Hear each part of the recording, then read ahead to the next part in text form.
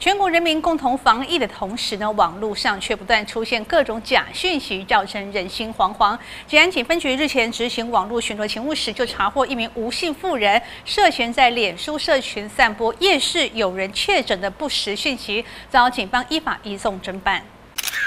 吉安乡有名吴姓妇人，在公开的脸书社群上发布一则讯息，写下与家人前往某夜市时遇上一男一女管制人员，其中男子在要求留下实名制资料后，突然表示自己好像确诊，让吴女饱受惊吓。但针对内容并没有做进一步查证，遭吉安警分局锁定，依法移送侦办。本局二十六日执行网络巡逻勤务，发现有民众在花莲脸书社群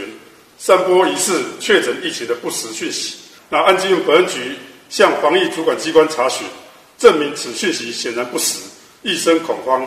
立即行宪将涉案的吴姓妇人带回询问。那我们全案依违反严重特殊传染性肺炎防治及纾困振兴特别条例，移送花莲地检署侦办。吉安警分局也呼吁民众在发布公开讯息前，应该先做查证。如果散播有关严重特殊传染性肺炎流行疫情之谣言或不实讯息，将有可能会被处三年以下有期徒刑、拘役或并科新台币三百万元以下罚金，绝对不可轻忽而触法。记者徐立琴吉安乡报道。